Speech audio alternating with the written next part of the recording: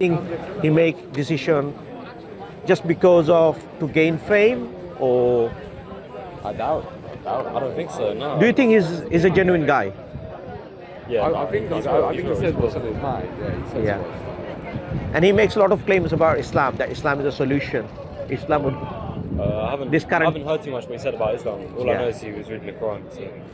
yeah he, he said about that you know we don't have the social balance basically society is failing every direction why why the society is failing what do you think Don't, What- don't what? Have, don't have like something to the guide yeah gu- like guidance about. what, what about you what do you think Well, society's failing. I, I don't think it's um. I don't think it's our moral guidance. I think it's just uh, maybe corruption. Really, I think that's. that's what it is Yeah. so the corruption if you have a corruption in a society Yeah. The society would not function Of course. do you agree Yeah. And that's why, because of corruption, you need guidance. And at the moment, we don't know our guidance because our social structure, we don't have any boundaries. You can call yourself a broccoli. You can call yourself anything, you know. Honestly, there was a guy, I think he, he raped a woman. So when police caught him, he said, "No, I'm not a, uh, I'm not a man. I'm a woman." So there are boundaries. So Islam comes and fix all those issues and also fix the issue about our own existence and the existence of this everything around us. What's your position? Do you believe in a creator or what about you? I, I, I don't believe in a creator. have you looked into it uh, rationally or you yeah, didn't look into I've, I'm thinking about it a lot because I'm born Christian. Yeah, so we're- Yeah, we're you're both born from- Christian. We're both from a Christian. Christian background. background. yeah. um, my, my family's quite. My mum is quite Christian as well. Quite Christian, yeah. Christian it, so, but I've been thinking about it a lot. So as I was growing up, I just, I just don't really, uh, I don't believe it. No. but do you believe how do you see jesus do you see him as a god I see him as a prophet, just a prophet. do you know what if you see him a prophet shake me shake my hand i wanted to shake Do you, if you believe in a prophet right Uh, yeah. I, do you know which religion believes that he is a prophet Yeah. islam Yeah. so basically if you believe allah the creator you also believe yeah you're a believer in a god No.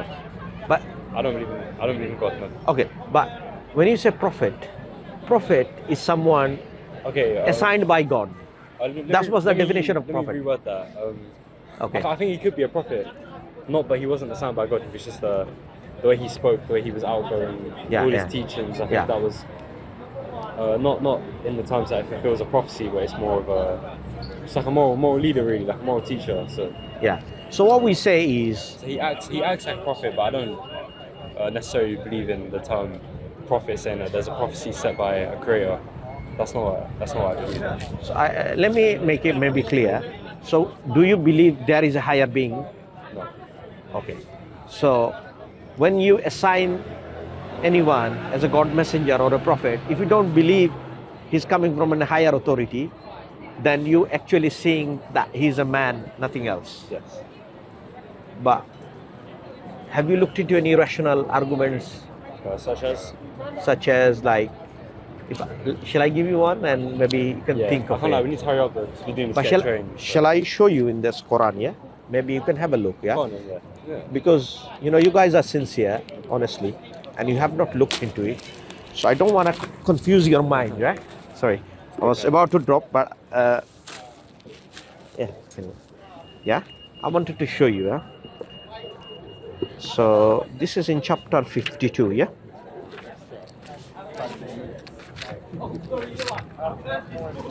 Uh, chapter 52 i'm in a slow mood today right I have been interested in reading the Quran though. Yeah, that's why I'm going to give it to you. Yeah. So I just wanted to show you that argument. Maybe think about it. Think about how you feel it. Because belief is not something you can push down to someone, right? Yeah. It is whether you convinced with looking into it, right? And I just wanted to share as, as a friend in humanity, you know, I just like to share with you. So Allah said, "Am khuliqu min ghairi shay'in am humul khaliqun am khalaqus samawati wal ardi bal la yuqinun." So Allah saying were they created by nothing or they are the creator of themselves so there is two question here first question is we see the creation Yeah.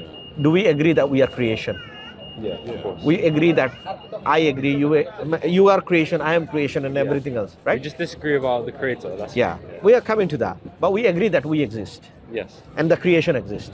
So Allah asking, "Thi- can this creation come from nothingness? No, of course not. No, means Logic, logic. logically and mathematically. You know, like yeah, zero plus zero, even mathematically not possible. Yeah. Then second pos- possibility, Allah is saying, can something create by itself? Means what's your name? Matthew. Matthew. Did you give birth to yourself? No. I don't think so. No. No. Of course not. No, It's an absurd idea. You have to exist before your existence, which is an absurd idea. Someone will say, crazy, this man is gone, right? so now Allah saying, then, then as a logical person, what option are we left off with? We, we were created. Higher being, Higher being. right? Now that higher being must be unlike the creation. Do you agree? Yeah. That being must be all powerful because we see the creation. Create something from nothing. Yeah, exactly. and then the powerful that, that being must be intelligent. You agree? All knowing intelligent and he must have the will and power intelligence all of these things right? That is the god we believe in. It's So- argument, yeah. that is the islamic god. And now let me show you that, that that's the definition of god. And any rational being would not deny that right Matthew, uh, it was nice talking to you, but let me just show you. There are other features in this uh, translation. Yeah, so it's here. Qul huwallahu ahad. Say he is God who is one. Yeah, he doesn't mean that he's a man. Allah will clarify it. Yeah, Yeah. he doesn't mean he's a man. God, the eternal refuge, means some something always exists, something that we all depend on, but Allah is independent. Means I drink, sleep, eat, but the Creator is providing that to me, but He is not needing of this. Now imagine Matthew, He's sustainer. He is sending rains, oxygen. If He stopped it, we are not giving any money, are we? Now imagine the one who's giving free. He said, I'm gonna switch it off. I'm not gonna give anymore. What will happen? If, uh, what, sorry? Say that again? If the creator giving you oxygen, yeah, you Yeah, agree? okay, if he stops, Yeah, if you yeah. stop it, will we survive? Of course not.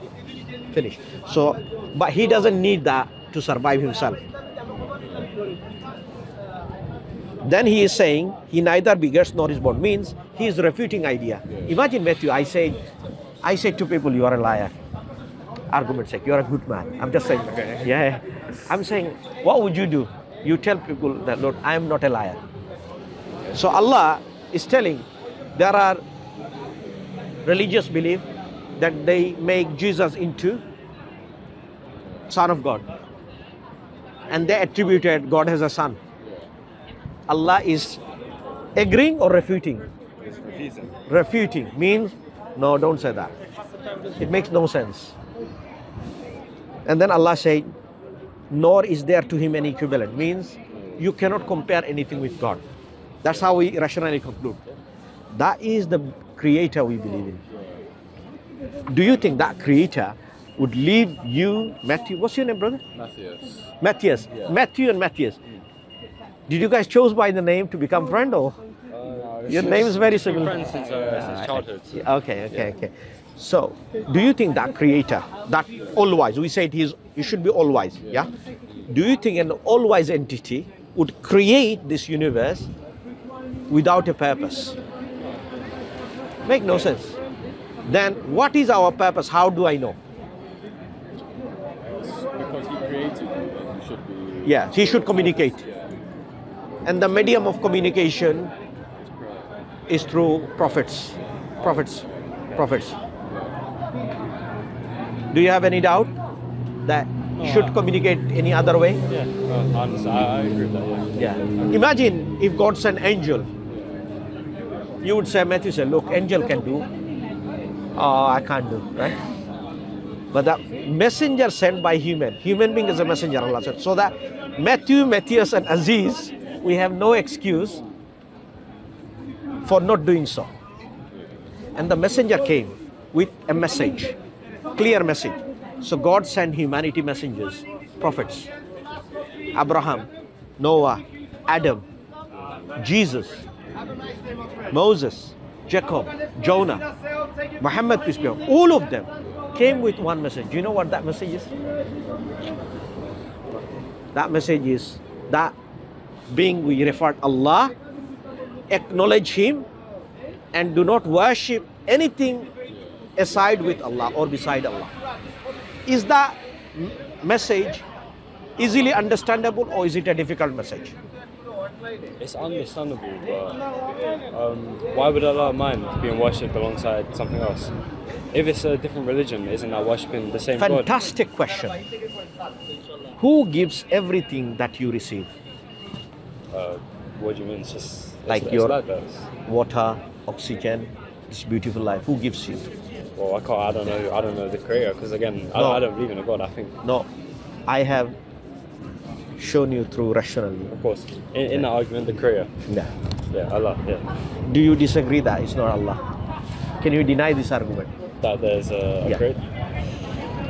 I think, I think no one can because no one knows. That's why. That's why. Yeah. So we make decision based on observation. Can I just say that? Yeah, sure. For a while now, um, speaking to my Muslim friend, I have been interested in reading the Yeah, yes. So, I'll, I'll give you this one. I'll give you. Yes. I'll take it then. Yeah, yeah, sure, def- definitely. This, yeah. And definitely. Oh, I'm sorry, I need to cut it short. Yeah, yeah, no. That's why. That's why I'm so- gonna give it to you.